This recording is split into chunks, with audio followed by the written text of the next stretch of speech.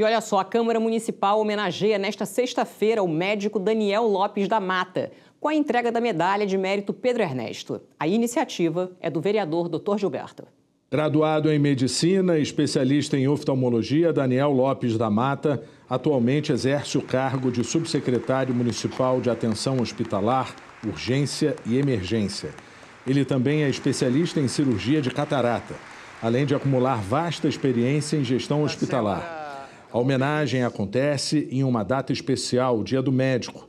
Para o doutor Daniel, essa honraria reforça o compromisso de cuidar da saúde ocular da população. Ele recebeu o conjunto de medalhas de mérito Pedro Ernesto das mãos do vereador doutor Gilberto.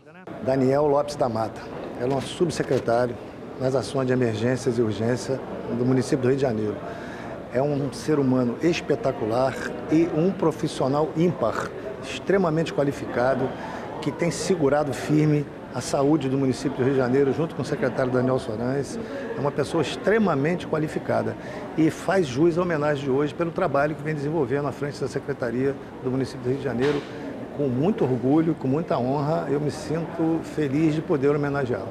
Fico muito gratificado de estar recebendo essa homenagem. Para mim, que vim de Minas, é, aqui no Rio, estou há mais de 10 anos aqui, mas fazendo meu trabalho, sempre fui médico da ponta, trabalhei em várias unidades de saúde aqui do município do Rio de Janeiro, trabalhei em ambulâncias, então a, a, eu, eu conheci as unidades é, de saúde do município como um todo, trabalhei dentro dessas unidades, não só no transporte de pacientes, mas também dentro dessas unidades, e fui galgando meu espaço dentro da, do cenário de gestão.